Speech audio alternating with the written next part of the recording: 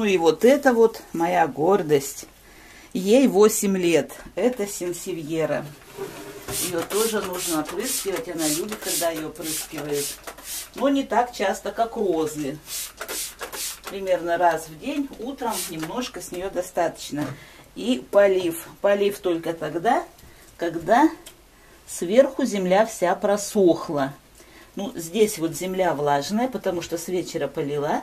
Сегодня ее удобряю. Можно в одном месте просто пролить. Много поливать ее не нужно, болото ей не нужно. Она не любит, когда слишком сыро. Скорее ей нужно сухо, чем сыро. Но удобрить, конечно, раз в две недели не возбраняется. Это маленький циссус.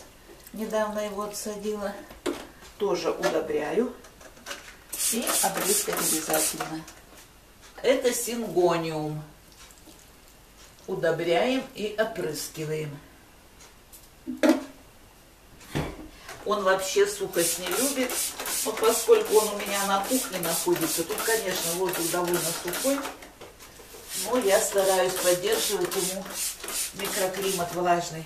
А это лиана. Тоже опрыскать обязательно и удобрить.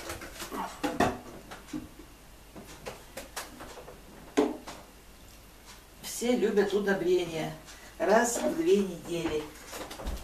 Чтобы не путаться, в начале месяца, в середине, в начале, в середине. Так, а здесь недавно отсадила алой, уже можно его полить тоже. Так, а это глоксиния. Самое время, если хотите обновить, и картошка старая, или размножить, вот пару листиков, ну, на всякий случай, если один случайно погниет, значит, простоит здесь, ну, может быть, месяц, и появятся корешочки на листиках, тогда можно листики сажать уже в горшок в землю. Но пока оно будет у нас тут стоять. Ну, а это у меня выгонка чеснока на зелень. Это снова сингониум, только уже в другом месте. Удобряем.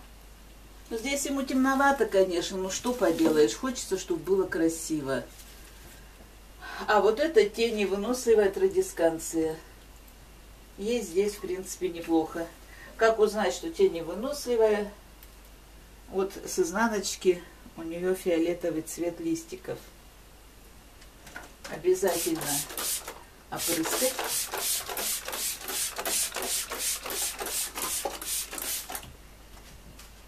И снова здесь у меня синсевьера. Кстати, синсевьера очищает в комнате воздух от плохих эмоций. И где стоит синсевьера, там все довольны, веселы и счастливы.